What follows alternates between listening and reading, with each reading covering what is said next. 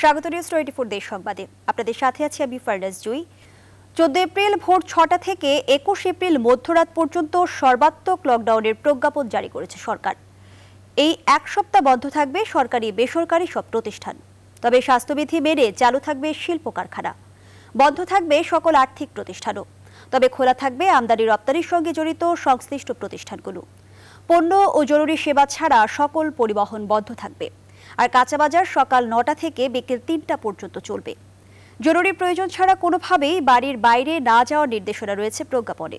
দুপুর বারোটা থেকে সন্ধ্যা সাতটা এবং রাত বারোটা থেকে ভোর ছটা পর্যন্ত হোটেল রেস্তোরাঁগুলো শুধু পার্সেল সরবরাহ করতে পারবে।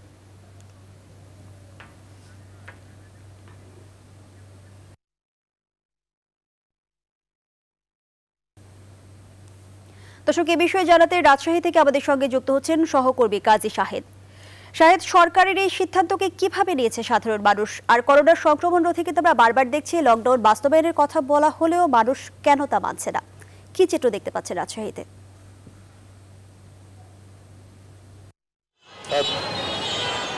ধন্যবাদ। জুই, প্রথমে যেটি বলতে চাই যে এর আগে যে লকডাউনের ঘোষণাটি দেওয়া হয়েছিল সীমিত পর্যায়ে, সেটি কিন্তু মানুষ কতটা মেনেছে এবং কি অবস্থা বাজারের, সেটি কিন্তু আগে একটু ক্যামেরা চোখ দিয়ে দেখাতে চাই যে সাধারণভাবে, সাধারণ দিনে যেভাবে চলাফেরা করে মানুষ তার চেয়ে অনেক বাড়তি ভিড় আমরা লক্ষ্য করেছি এই কয়দিনে। আজকে তো একেবারে উপচে পড়া ভিড় রাজশাহীর সবগুলি বাজারেই এবং মানুষের কেনাকাটার যে ধুম যেগুলো নিত্য প্রয়োজনীয় পণ্য সেই বাজারগুলির চেয়েও গার্মেন্টসের যে পণ্যগুলি, সেগুলিতে বেশি মানুষের ভিড় লক্ষ্য করা গেছে এবং যানবাহন যেভাবে চলাচল করছে রাজশাহী শহরে, এই জায়গাটিতে এই সময় সাধারণত ফাঁকা থাকার কথা বা থাকে অন্য দিনগুলিতে। কিন্তু গত দুদিন থেকে দেখা গেছে যে প্রচণ্ড ভিড়। আর আজকে যে লকডাউনের সিদ্ধান্তটি এসেছে এবং সরকার যে প্রজ্ঞাপনটি জারি করেছে, আমরা যখন সাধারণ মানুষদের সঙ্গে কথা বলেছি তারা যেটি বলছিলেন যে শুধু ঘোষণা দিয়ে নয় পুরোপুরি যাতে বাস্তবায়ন করা যায়, এজন্য আইনশৃঙ্খলা বাহিনীর সদস্যদেরকে একেবারে কঠোর অবস্থানে যেতে তারা অনেকে পরামর্শ দিয়েছেন। আর নিম্ন আয়ের মানুষ যারা আছেন, যারা দিন আনেন, দিন খান এবং রিক্সা শ্রমিক রিক্সা চালক, শ্রমিক যারা আছেন তারা যেটি বলছিলেন যে তাদের আয়ের নিশ্চয়তাটি দেওয়ার পরে সরকার যদি কঠোর অবস্থানে যায়, তাহলে এটি তাদের পক্ষে মানা সম্ভব। অন্যথায় এই বিভিন্ন উপায়ে যখন যে- কোনো অজুহাতে মানুষের যে বাইরে আসার প্রবণতা সেটি রোধ করা কঠিন হয়ে যাবে। এবং এই যে লকডাউনটিতে কিছু শর্তের শিথিলের কথা বলা হয়েছে এটিকেও অনেক ক্ষেত্রে বলা হয়েছে যে লকডাউন যাতে খুব একটা কার্যকর হবে এমনটি তারা মনে করছেন না। ফলে আইনশৃঙ্খলা বাহিনীকে কঠোর অবস্থানে গিয়ে এই যে লকডাউন পুরোপুরি পালন করা মানুষকে ঘরে ভেতরে আটকে রাখার যে উদ্যোগটি সেটিকে নিতে হবে এবং সাধারণ মানুষের যারা খেটে খাওয়া মানুষ, যারা নিম্ন আয়ের মানুষ তাদের খাদ্য নিশ্চয়তাটি অন্তত এই সাত দিন যদি সরকারিভাবে করা যায়। গতবার যখন করোনার প্রথম ধাক্কাটি এসেছিল তখন জনপ্রতিনিধি এবং বিভিন্ন উচ্চবিত্তরা যেভাবে নেমেছিলেন, এবারও তেমনটি প্রত্যাশা করছেন সাধারণ মানুষরা। তো এই ছিল রাজশাহী থেকে আমার কাছে সর্বশেষ জুই ফিরছি স্টুডিওতে আপনার কাছে। শাহেদ, আপনাকে ধন্যবাদ জানাচ্ছি। দর্শক, রাজশাহীর পরিস্থিতি জানাচ্ছিলেন সহকর্মী কাজী শাহেদ। বছর ঘুরে আবার একই পরিস্থিতি। কঠোর লকডাউনের ঘোষণায় যে যেভাবে পারছেন, রাজধানী ছাড়ছেন। কাজ বন্ধ থাকবে, হবে না ব্যবসা বাণিজ্য। সংসারের খরচ কমাতে তাই গ্রামের বাড়িকেই বেছে নিচ্ছেন মানুষ। দূরপাল্লার বাস বন্ধ থাকলেও কয়েকজন মিলে গাড়ি পিক ও ট্রাক ভাড়া করে ছুটছেন তারা। ফলে যানবাহনের চাপ বেড়েছে মহাসড়কে। লম্বা লাইন তৈরি হচ্ছে ফেরিঘাটেও। এদিকে কোথাও স্বাস্থ্যবিধির তোয়াক্কা নেই। প্রতিনিধিদের তথ্য, ছবি নিয়ে ডেস্ক রিপোর্ট।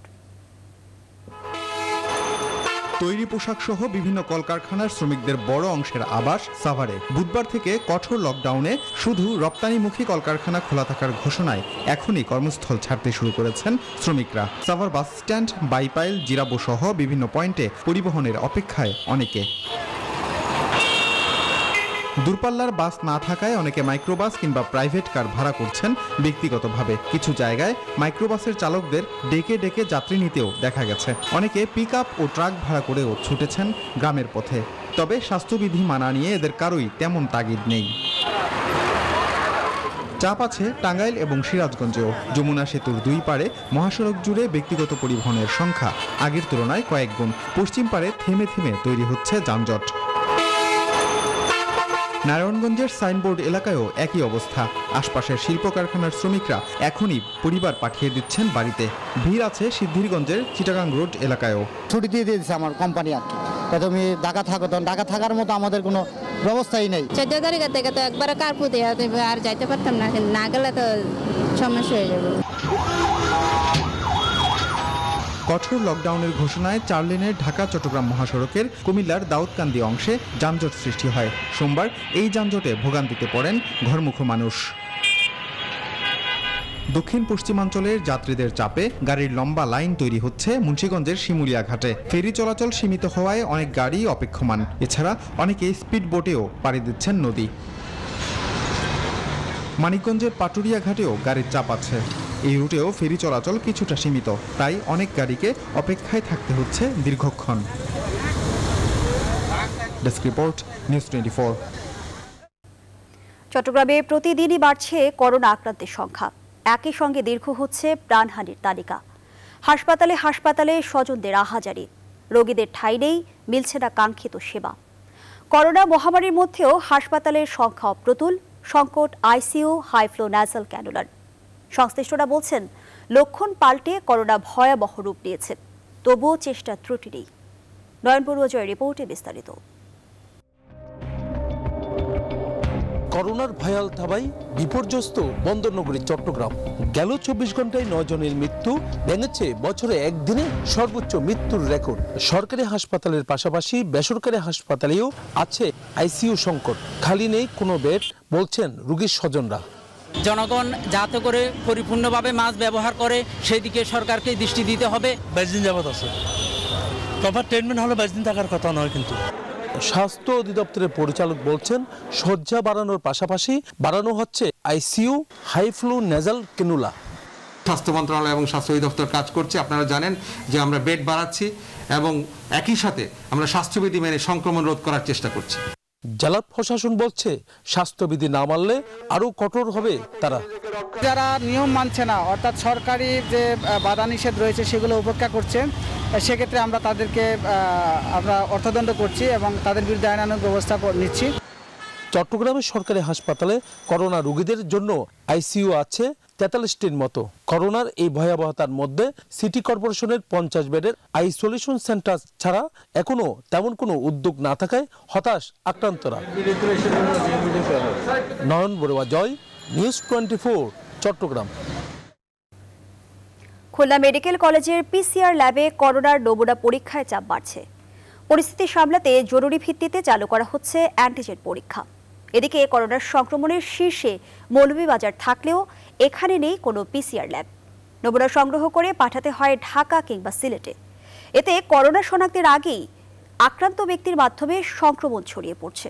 শামসুজ্জামান শাহিন ও সৈয়দ বৈতুল আলীর তথ্যচিত্রে desk report. Khulna medical college ল্যাবে দুইটি পিসিআর মেশিনে একদিনে সর্বোচ্চ দুইশো ছিয়াত্তরটি নমুনা পরীক্ষা করা যায়। তবে গেল কয়েকদিন ধরে করোনা সংক্রমণ বেড়ে যাওয়ায় এখানে প্রতিদিন ছয় শতাধিক নতুন নমুনা হাসপাতালে আসছে। এরই মধ্যে পরীক্ষার অপেক্ষায় থাকা প্রায় বারোশোর মতো নমুনার জট তৈরি হয়েছে। আবার এসব নমুনা পরীক্ষার প্রতিবেদন দিতে সময় লাগবে আরও ছয় থেকে সাত দিন। এতে করোনা শনাক্তের আগে আক্রান্ত ব্যক্তির মাধ্যমে সংক্রমণ ছড়িয়ে পড়ছে। চিকিৎসকরা বলছেন, পিসিআর ল্যাবে চাপ সামলাতে জরুরি ভিত্তিতে চালু করা হচ্ছে অ্যান্টিজেন পরীক্ষা। জোরালোভাবে যদি আমরা অ্যান্টিজেন টেস্ট করতে পারি, তাহলে ব্যাপক মাত্রায় কিন্তু আমরা একই দিনই বলতে সক্ষম হব যে অ্যান্টিজেন করে নেগেটিভ বা পজিটিভ কারণ অ্যান্টিজেন টেস্ট করতে মাত্র আধা ঘণ্টার সময় নেয়। যেসব রোগীর মধ্যে করোনা ভাইরাস সংক্রমণের উপসর্গ রয়েছে, তাদেরকে অ্যান্টিজেন টেস্ট করানো হবে। এতে যারা পজিটিভ হিসেবে চিহ্নিত হবেন, তাদেরকে আইসোলেশনে নেওয়া হবে। টেস্ট করে খুব অল্প সময়ের মধ্যে আমরা টেস্টের রিপোর্ট দিতে পারব। এবং যেটা পজিটিভ হবে সেটা পজিটিভ ওইটা আর নতুন করে কিছু করা লাগবে না। আর নেগেটিভ করে যদি সিমটম বেশি থাকে সেক্ষেত্রে আমরা হয়তো পিসিআর ল্যাবে করব। স্বাস্থ্য বিভাগের তথ্য অনুযায়ী করোনা সংক্রমণের ঝুঁকিতে দেশের উনত্রিশটি জেলার মধ্যে প্রবাসী অধ্যুষিত মৌলভীবাজার সবার উপরে। করোনার ঝুঁকিতে থাকলেও এ জেলায় নেই কোনো পিসিআর ল্যাব এখানে সংগৃহীত নমুনা পাঠাতে হয় সিলেট ও ঢাকায়। তিন দিন চার দিন এমনকি ফার্স্ট সাত দিন পরেও করোনার রিপোর্ট আসে। এমনও হয় যে করোনা রিপোর্ট আসতে আসতে রুগী মারা যায়। আমাদের এখানে পিসিএল ল্যাব না থাকার কারণে এই ওয়েটিংটা পিসিআর ল্যাব ল্যাব স্থাপনের প্রয়োজনীয়তার কথা স্বীকার করে সিভিল সার্জন বলছেন জিন এক্সপার্ট মেশিন দিয়ে করোনা টেস্টের উদ্যোগ নেওয়া হয়েছে। জিন এক্সপার্ট মেশিনটাকেই আমরা কোভিডের জন্য ইয়ে করা যায় কিনা সেই বিষয়ে আমরা পদক্ষেপ নিছি। ফেব্রুয়ারি মাসে মৌলভীবাজারে করোনা আক্রান্তের হার ছিল পাঁচ শতাংশের নিচে। মার্চ মাসের শেষ সপ্তাহ থেকে আক্রান্তের হার দাঁড়ায় তিরিশ শতাংশে। Desk report, news twenty Sonargaon থানায় রিসোর্টে ভাঙচুর ও সহিংসতার মামলায় গ্রেপ্তার হেফাজতে ইসলামের চার নেতার জামিন নামঞ্জুর করেছেন নারায়ণগঞ্জের আদালত। সোমবার দুপুর তিনটার দিকে নারায়ণগঞ্জের সিনিয়র জুডিশিয়াল ম্যাজিস্ট্রেট আদালতে তোলা হয়। মাওলানা ইকবাল, মাওলানা মহিউদ্দিন, মাওলানা মোয়াজ্জেম এবং মাওলানা শাহজাহান শিবলিকে। এ সময় পুলিশ রিমান্ডের আবেদন করলেও শুনানি পরে হবে বলে আদেশ দেন আদালত। এর আগে রাজধানীর জুরাইন থেকে এই চারজনকে গ্রেপ্তার করে র্যাব। পরে সোনারগাঁও থানায় হস্তান্তর করা হয়।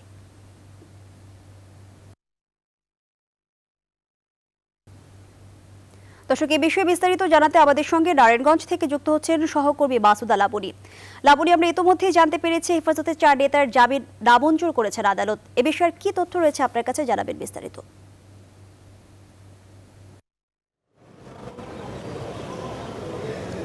জুই এখন কিন্তু তাদেরকে আদালতে তোলা হয়েছে এবং এতক্ষণ তারা কিন্তু গারদখানায় ছিলেন। কিছুক্ষণ আগে তাদেরকে আদালতে তোলা হয়েছে এবং নারায়ণগঞ্জের জেলা এবং দায়রা জজ আদালতের যে senior judicial magistrate Ahmed Humayun Kabir, তার আদালতে শুনানি চলছে। কিছুক্ষণ পর হয়তো আমরা জানতে পারব যে এই যে হেফাজতের চার নেতা ইকবাল হোসেন, মহিউদ্দিন এছাড়া আছেন শাহজাহান এবং মোয়াজ্জেম। এবং তারা কিন্তু সবাই সোনারগাঁও উপজেলার হেফাজতে ইসলামের কেউ সভাপতি আছেন সহ সভাপতি আছেন সেক্রেটারি আছেন এবং হেফাজতে মজলিসের আমিরও একজন আছেন।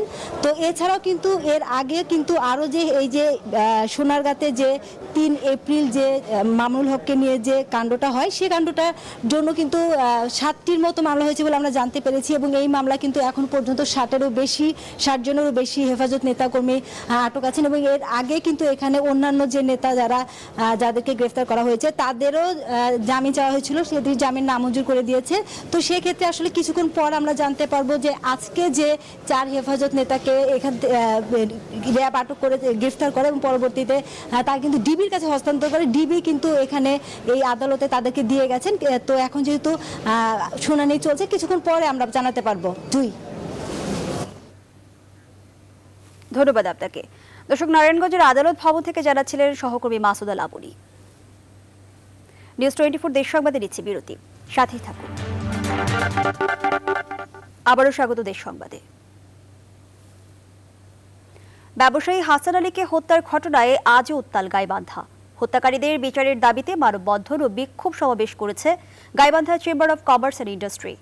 শহরের দেবী রোডে রাসাদুজ্জামান মার্কেটের সামনে বেলা এগারোটা থেকে ঘণ্টাব্যাপী এ কর্মসূচি পালন করা হয়। এ সময় শহরের সকল ব্যবসা প্রতিষ্ঠান বন্ধ রাখা হয়। এ কর্মসূচিতে সংহতি প্রকাশ করেন বিভিন্ন ব্যবসায়ী ও সামাজিক সংগঠন। এ সময় অভিযুক্ত বহিষ্কৃত জেলা আওয়ামী লীগের উপদপ্তর সম্পাদক মাসুদ রানা সহ দায়ী পুলিশ কর্মকর্তাদের শাস্তির দাবি জানানো হয়। কক্সবাজারের পেকুয়ার, বারবাকিয়া ও টেকনাফের নীলায় পৃথক ঘটনায় প্রতিপক্ষের গুলিতে এক নারী ও এক যুবক নিহত হয়েছে। আহত হয়েছে দুজন। গতকাল রাত আড়াইটার দিকে বারবাকিয়া বোদামাঝির ঘোনা এলাকায় জমি সংক্রান্ত বিরোধের জেরে মামুন নামে এক যুবকের গুলিতে এক গৃহবধূ নিহত হয়েছে। আহত হয়েছে আরও দুইজন। পরে রাতে স্থানীয়রা দুজনকে আটক করে পুলিশে দেয়। এদিকে টেকনাফের নীলার লেদা নুরালি পাড়ায় রাত দশটার দিকে আধিপত্য বিস্তারকে কেন্দ্র করে খালেক বাহিনীর গুলিতে ইমাম হোসেন নামে এক যুবক নিহত হয়েছে। রাজশাহীতে করোনা প্রতিরোধে জনসচেতনতা বাড়াতে প্রচারণা ও মাস্ক বিতরণ করেছেন সাবেক ছাত্র সংগ্রাম পরিষদের নেতৃবৃন্দ। দুপুরে নগরীর আরডিএ মার্কেট সাহেব বাজার জিরো পয়েন্ট ও গড়কপাড়া এলাকায় এই প্রচারণা চালানো হয়। এ সময় রাকসু সাবেক ভিপি রাগিব হাসান মুন্ডা, জেলা আওয়ামী লীগের সাবেক সাধারণ সম্পাদক আসাদুজ্জামান আসাদ সহ নেতৃবৃন্দ উপস্থিত ছিলেন।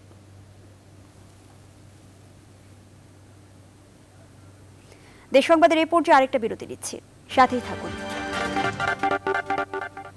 দেশ সংবাদে আবারও স্বাগত। পার্বত্য জেলার রাঙামাটি, খাগড়াছড়ি ও বান্দরবানে বসবাসরত ক্ষুদ্র নৃগোষ্ঠীদের সবচেয়ে আকর্ষণীয় উৎসব হল বৈশাখী উদযাপন। পুরাতন বছরকে বিদায় আর নতুন বছরকে স্বাগত জানাতে নানা আয়োজনে কয়েকদিন ব্যাপী জাঁকজমকভাবে উদযাপন করা হয় নানা অনুষ্ঠান। তবে করোনার লকডাউনের কারণে গত বছরের মতো এবারেও ম্লান হয়ে গেছে বৈশাখী উদযাপন। তবে নিজেদের মধ্যে ফুলবিজু পালন করেছে ক্ষুদ্র নৃগোষ্ঠীরা। ভোরবেলা আকাশে সূর্য ওঠার পর গঙ্গা দেবীকে ফুল ভাষায় ক্ষুদ্র নৃগোষ্ঠীর তরুণ তরুণীরা। প্রার্থনা করা হয় দেশের মহামারী করোনা ভাইরাস থেকে মুক্তি লাভের জন্য।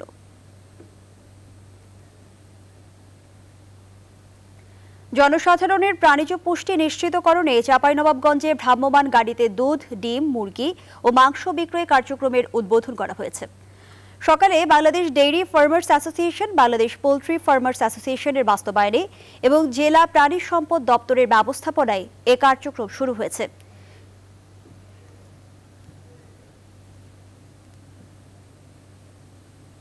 দর্শক, এই ছিল দেশ সংবাদে। আরও খবর ও বিশ্লেষণ জানতে ভিজিট করুন W W W dot news twenty four BD dot TV ধন্যবাদ সবাই